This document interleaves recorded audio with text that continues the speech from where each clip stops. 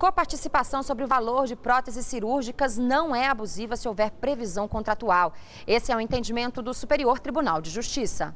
A terceira turma do STJ reformou decisão do Tribunal de Justiça do Rio Grande do Sul que anulou cláusula contratual e condenou uma operadora de plano de saúde a reembolsar paciente dos valores relativos a próteses e materiais utilizados em cirurgia para tratamento de doença do coração. De acordo com a paciente, o plano de saúde autorizou a troca de válvula, instalação de marca-passo e circuito de circulação extracorpóreo. Após a realização dos procedimentos, a operadora, baseada na cláusula de coparticipação contratual, cobrou 20% sobre os valores dos materiais utilizados e a quantia referente à válvula indicada pelo médico, de marca diferente e valor superior que é indicada pelo plano de saúde. Após a cobrança, a paciente recorreu à justiça. Em primeira instância, o juiz declarou a nulidade da cláusula contratual de coparticipação e condenou o plano a restituir a paciente.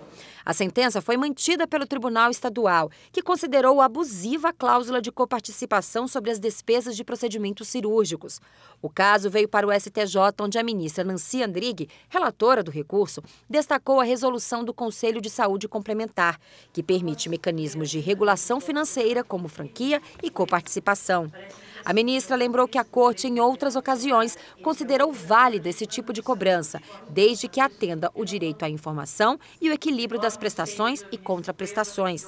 A ministra disse ainda que a obrigação de fornecimento por parte do plano de saúde não implica que o pagamento seja suportado exclusivamente por ele, pois a própria coparticipação coloca a operadora como agente moderador na utilização dos serviços de assistência médica e hospitalar.